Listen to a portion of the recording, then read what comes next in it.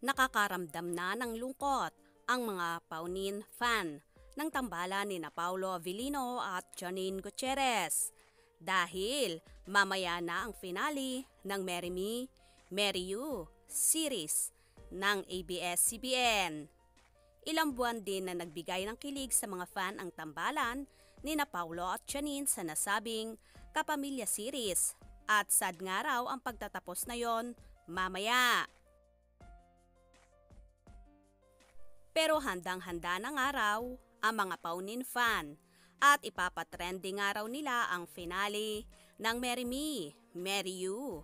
We're ready, for sure. Magti-trending ang finale episode ng Marry Me, Marry You. Lahat kami, tututok. Message ng isang Paunin fan sa amin. Katuwa rin ang ibang mga Paunin fan na nagme-message sa amin dahil ang hiling nga nila ay paaminin na namin sina Paulo at Janine sa relasyon daw ng mga ito. Ang palagi lang naming sinasabi sa mga Paunin fan, tanging sina Paulo at Janine naman ang makakapagdesisyon sa bagay na yon at kung may relasyon nga ba talaga sila na inililihim lang.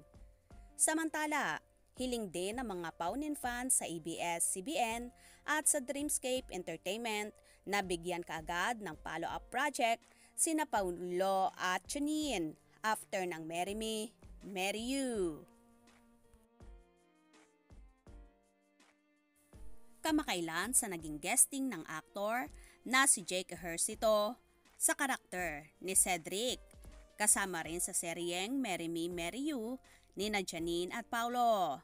Dito, nagkaroon ng jojowain o totropahin challenge si Jake at natanong sa kanya kung si Janine daw ba ay totropahin o jojowain.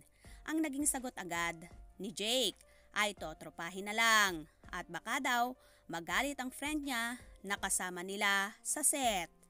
Hindi binanggit ni Jake ang pangalan pero base sa salaysay niya, ang tinutukoy niyang yon ay si Paulo Villino.